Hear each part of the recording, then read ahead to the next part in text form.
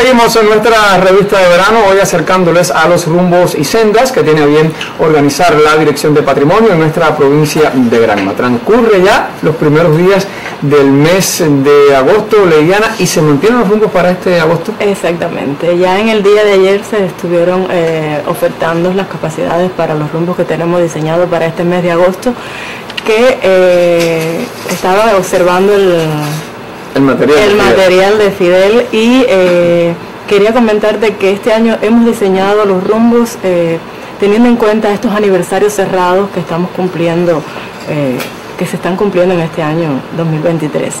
Y uno de los rumbos que está diseñado para este mes de agosto es hasta el Monumento Nacional Las Coloradas en Los Cayuelos, en el Monumento Eriquero, específicamente el día 3 en saludo este, al cumpleaños de nuestro comandante en jefe.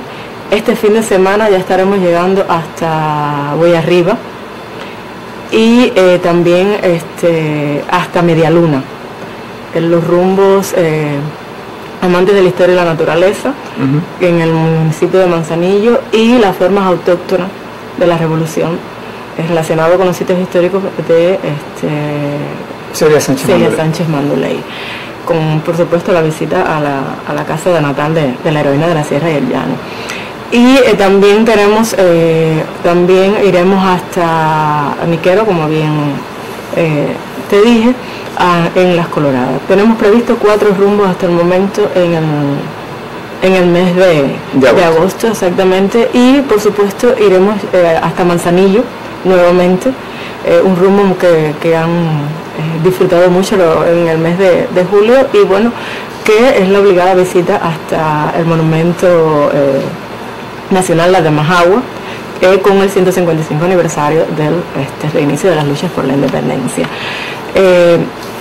Quería comentarte que no solamente los rumbos eh, están eh, teniendo una amplia difusión eh, este año, sino que las sendas, que son aquellos proyectos que se desarrollan dentro de cada uno de los municipios, han tenido mucha aceptación, principalmente en los municipios de Jiguaní, Bartolomé Mazó y Medialuna con la visita no solamente a los sitios históricos, sino también a esos sitios naturales que a veces un poco... Eh, encantan. Sí, que... Eh, y que a veces no conocemos. Que no conocemos. A veces lo tenemos ahí cerca. Exactamente. no, no, lo conocemos. Yo recientemente estuve en Victorino de Guisa y allí usted pasa un fin de semana espectacular. En el río de Victorino de Guisa eh, un espacio que también eh, marca la senda ¿no?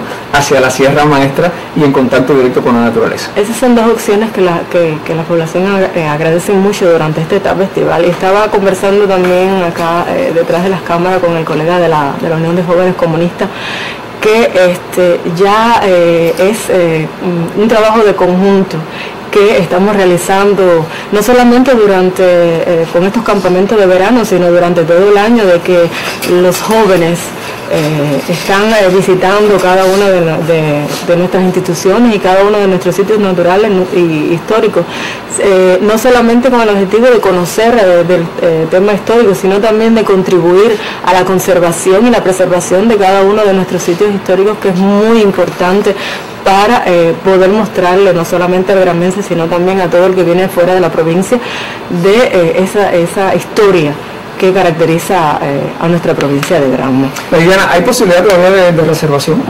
Bueno, ¿Qué deben hacer las personas, por ejemplo? Bueno, en, estos momentos no sabré decirte si ya en el día de hoy quedaron este, agotadas todas las reservaciones porque realmente se volcó el pueblo de Bayamo. Sí, me imagino.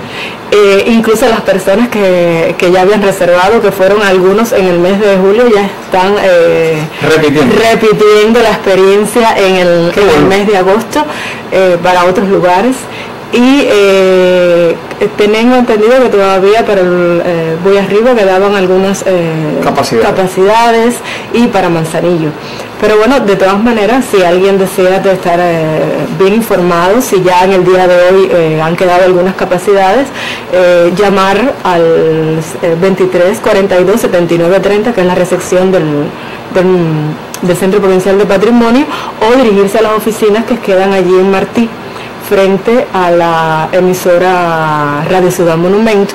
Allí pueden informarse mejor si queda alguna capacidad para, para lo que resta del, Bueno, muchísimas, muchísimas gracias a Leidiana Vega Izaguirre, especialista en comunicación del Centro Provincial de Patrimonio, también a Osman Tamayo Escalona, miembro del Grupo Provincial de la Unión de Jóvenes Comunistas, que atiende la esfera política e ideológica, que nos han acercado a dos espacios que eh, atraen eh, pues la atención de no pocos. Rumbos y sendas, que nuevamente, por fortuna, llega durante el mes de agosto para el sano esparcimiento de nuestra población y también el campamento de verano, proyecto de la Unión de Jóvenes Comunistas para reconocer a aquellos eh, jóvenes destacados en el estudio, el trabajo y los servicios. Gracias a los dos por acercarnos a, esta maravillosa eh, idea de, de una manera diferente también contribuir al sano esparcimiento de la población. Porque la gente piensa